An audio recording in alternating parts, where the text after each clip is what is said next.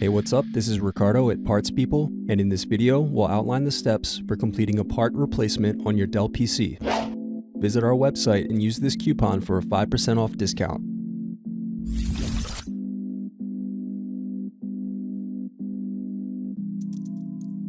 Use thin object to peel off screw covers. Now unscrew and remove base cover.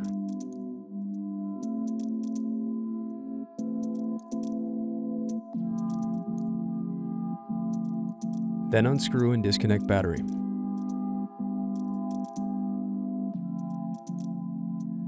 Then disconnect and remove speakers.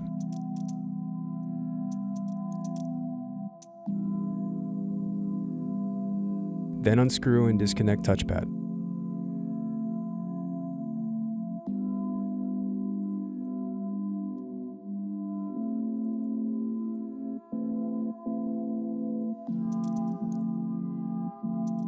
Thanks for watching.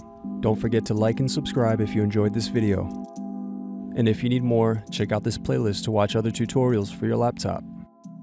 You can also click here to find parts for your laptop at partspeople.com.